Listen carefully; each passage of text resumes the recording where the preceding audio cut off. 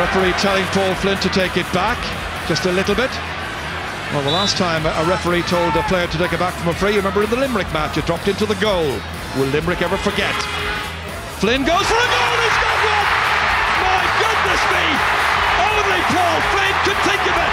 Amazingly! Cork were expecting him to just lob it over. There's where it finished, top right-hand corner of the net as we look at it.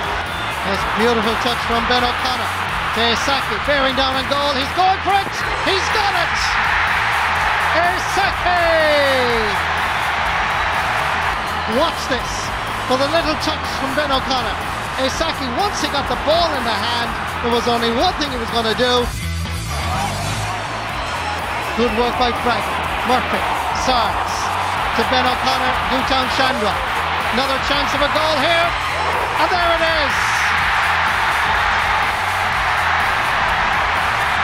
They're scoring big time in Thurles.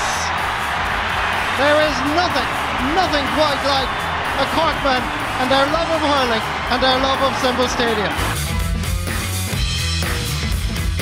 One, two, three, four, five, six, seven Corkmen. One Waterford man. Here's Kelly. Stopped. It's there again. And Waterford have it. Tony Browne now to come up from wing back. At 37 years of 37 age. years of age. What a man! Watch this again as Waterford will not be beaten here in Semple Stadium.